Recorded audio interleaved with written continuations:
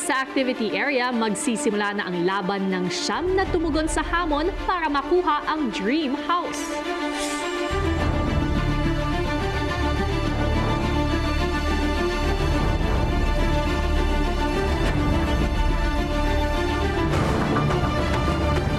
Lalaban po ako kuya para sa dream house po, para sa aking nanay. Gusto ko po siyang bigyan ng komportableng bahay kasi po pag meron kayong komportableng bahay, meron din po kayong komportableng buhay. And yun po yung binigay ng nanay ko sa akin simula nung bata pa po ako.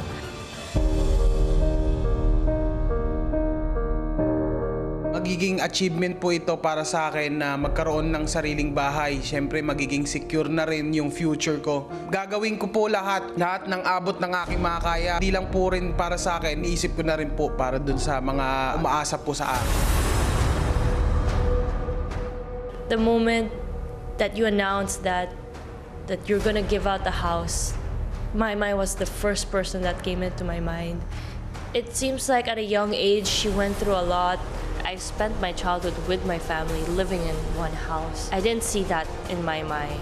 She deserves a lot more. gusto ko ng bahay. Para sa pamilya ko, para sa mga goals ko na kung bakit ako nagtatrabaho, kung bakit ako pumunta sa Pilipinas. It's all for a house. Imagine kung may magsabi sa'yo na sa loob ng isang linggo, kaya mong magkaroon ng bahay I'll do anything. I'll do everything.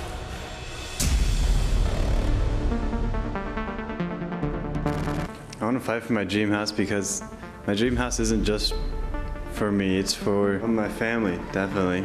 Like my mom, she's been through a lot and she's sacrificed a lot. She even sacrificed her own dream home for other people.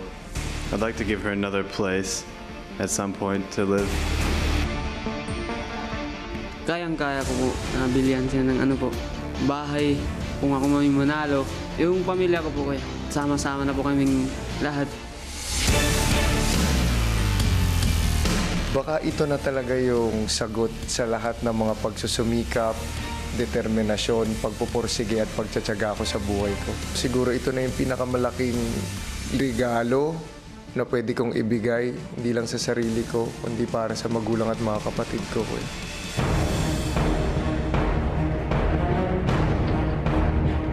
Ako po ay lalaban kuya sa dream house na yan kuya.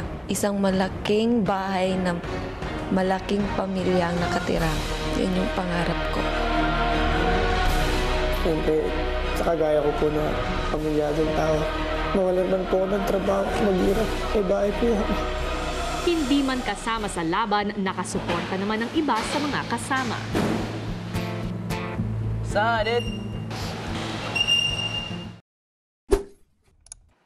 Hey, kapamilya! Be updated with the Pinoy Big Brother housemates by clicking the subscribe button and watch all the latest videos by clicking the I button above.